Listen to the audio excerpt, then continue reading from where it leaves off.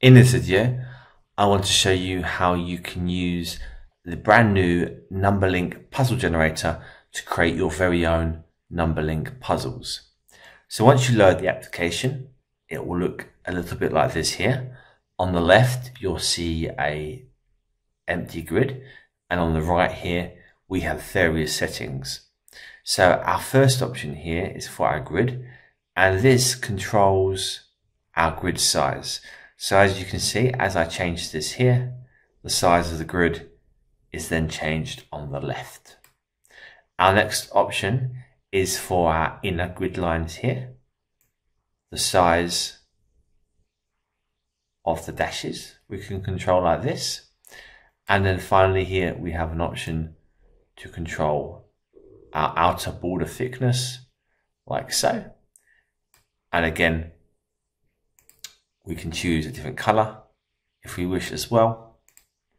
And after this, we have our inner. So at the moment, obviously we have our inner here, but if we want, we can turn that off and we can also control the thickness of our inner and of course, again, the color of our inner as well.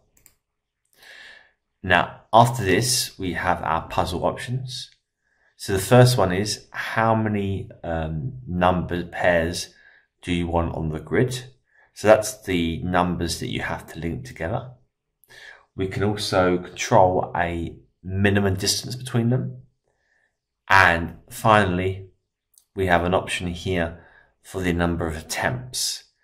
So this is the amount of tries that it will attempt basically to generate a valid puzzle if it doesn't in that time, then it will skip and regenerate and try again.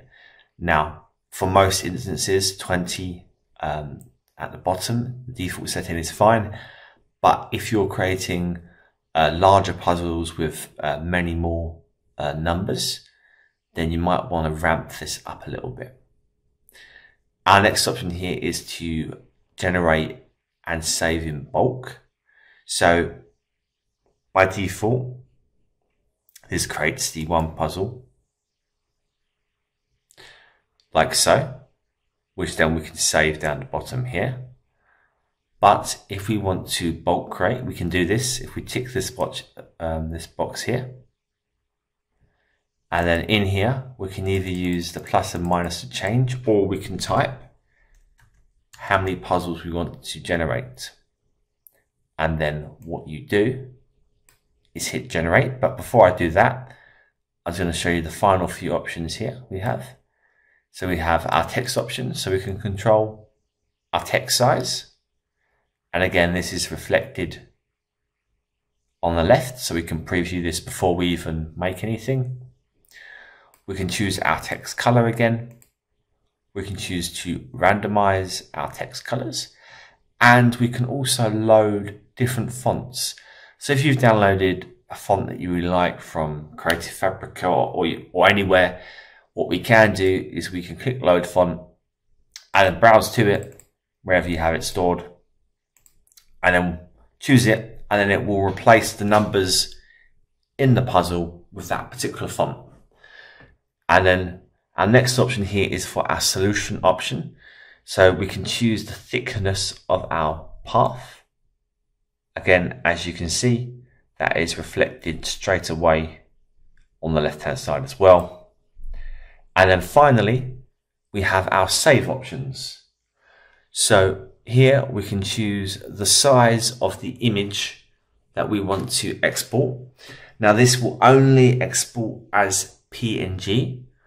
So if you want a high quality um, output, then ramp this up somewhat to whatever you desire. Let's go for that one there. And then finally, we can select uh, where we want to save our puzzles.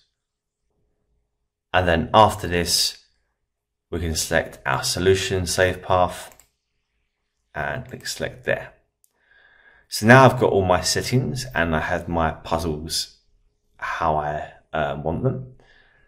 If you're creating a single puzzle, click Save Puzzle and Solution here. If we're generating in bulk, hit Generate Puzzle here. And then we just wait for that process to complete.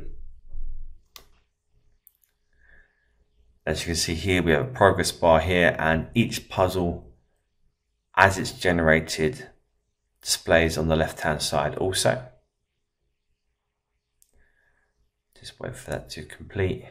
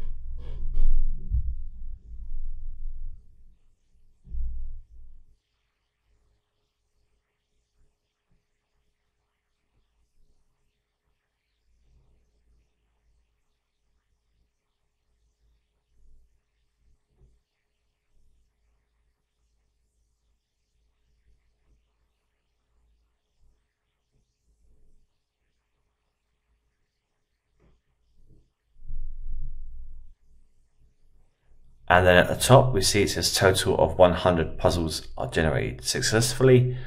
So then if we go to our puzzle save folder, we can see all of our puzzles generated in here. And then they are then matched the corresponding name with solutions in this folder. Now, you might be thinking, that's great. So how do I compile these into a book or a page? Well, if you um, purchase the number link generator, what you will also get, in addition to this for free, is the uh, puzzle compiler. So what this will allow you to do is select the folder and basically import these images, these puzzles, into a page with your custom um, width and height and your margins and how many uh, puzzles you want per slide, etc.